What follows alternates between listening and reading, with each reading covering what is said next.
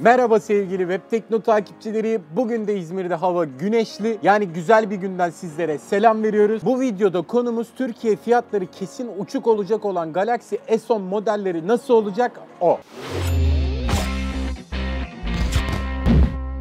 Şunu baştan belirteyim arkadaşlar. Fiyatlarla ilgili herhangi bir yorum yapmayacağız. Bu yorumu size bırakıyoruz. Yani şimdilik yapabilecek bir şeyimiz yok maalesef. Artık konumuza geçebilirim. Öncelikle karşımıza yüksek ihtimalle 4 farklı model çıkacak. Bu modeller şöyle arkadaşlar. Bir tane light versiyon söz konusu. 5.8 inçlik model muhtemelen bu light versiyon. 6.1 inçlik S10, 6.4 ve 6.7 inçlik de S10 Plus modelleri. Çözünürlükler 1440'a 2960. Ekran gövde oranları ise ortalama bir şey söylemek gerekirse %82. Direkt kameralar konusuna girmek istiyorum. Bu seneki modellerde 3 arka kamera yer alacak. Bunlar 12 megapiksel, 13 megapiksel ve 16 megapiksellik 3 farklı kamera. Şimdi edindiğimiz sızıntı bilgilere göre 12 megapiksel olan arka kamera geniş açı ve f1.5 ve f2.4 değerlerine sahip olacak. 13 megapiksel olan kamera telefoto lensli ve f2.4 değerine sahip olacakken 16 megapiksel olan kameramızda süper geniş açı ve f1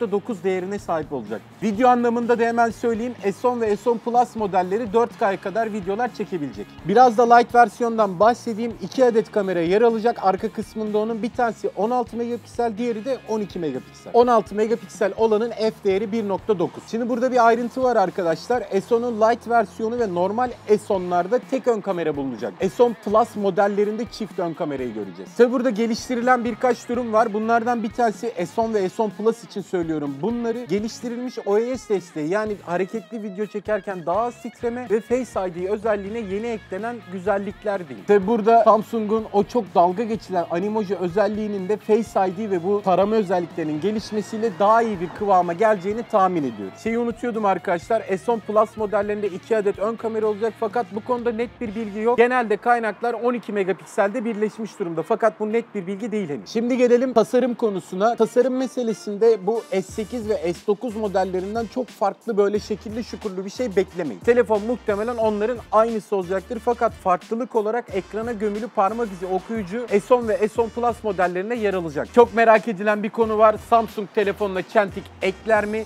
Eklemedi arkadaşlar. Ön kameralar ekrana gömülü bir şekilde gelecek. Zaten Samsung da telefonuna çentik koyarsa bu defteri kapatalım. Bir de şöyle bir durum var arkadaşlar. Artık telefonlar tasarım anlamında değil teknik özellik anlamında gelişiyor. Yani tasarımsal geliştirmeleri biraz daha geç göreceğiz. Ya da buna ikna oldular. Budur abi dediler. O defteri kapattılar. Şimdilik dedikodu olan bilgiler ışığında şunu söyleyebiliriz arkadaşlar. Tüm S10 modelleri 2K Plus görüntüye sahip olacak. Yani 4K'lık bir ekran söz konusu. Şimdi bir işlemciden bahsedeyim. Bildiğiniz gibi Samsung coğrafi konumlara göre farklı işlemciler piyasaya sürüyor. Muhtemelen bizim ülkemize gelecek olan modelde Exynos 9820 işlemci bulunurken farklı ülkelerdeki bu Amerika olabilir Snapdragon 855 şu anda konuşuluyor. Gelelim pillere. Lite modelinde 3100 mAh, S10'da 3500 mAh, S10 Plus'ta 4000 mAh, S10 Plus X veya 5G bunun adı değişiyor. Bunda da 5000 mAh'lik batarya yer alacak. Bildiğiniz gibi bu Samsung hızlı şarj olayını kablolu şarjı da çözmüştü. Yani hızlı şarj tüm telefonlarda olacaktır. Şunu unutuyordum. Huawei Mate 20'de bildiğiniz gibi telefondan telefona şarj aktarma özelliği var. Samsung firması bu özelliği alıp S10 modellerine yerleştirmiş. Yani bir S10'dan başka bir S10'a şarj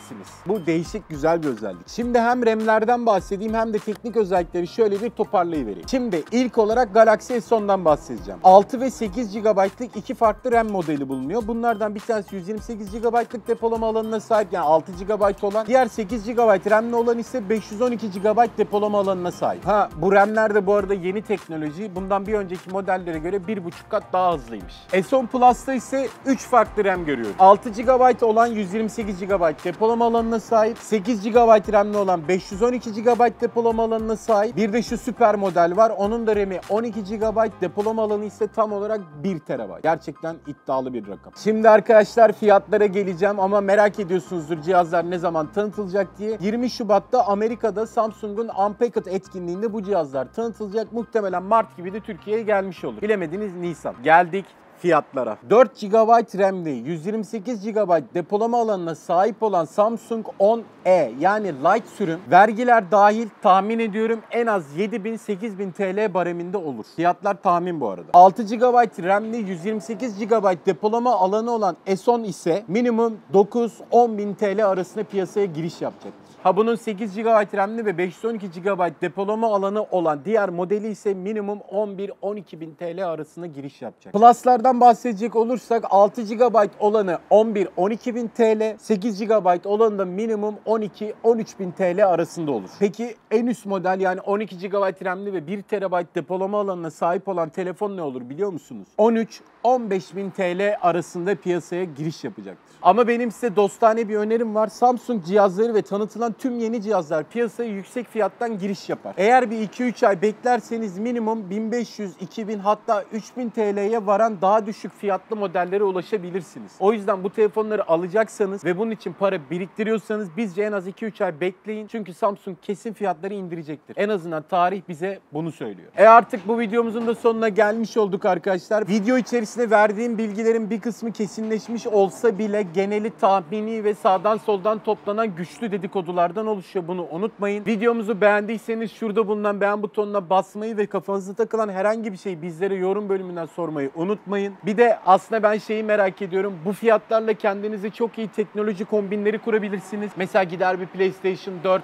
başka bir telefon, üstüne bir sanal gerçeklik gözlüğü, aksiyon kamerası bilmem ne falan filan toplayabilirsiniz. Bu kombinlerinizi de yorum bölümünden merakla bekliyorum. Başka bir web tekno videosunda görüşmek üzere. Hoşçakalın arkadaşlar. Ekranda durmakta olan bağlantıları tıklayarak bambaşka web tekno videoları izleyebilirsiniz. Ayrıca hemen ortadaki bağlantıdan da kanalımıza abone olabilirsiniz. 어버네 이모버네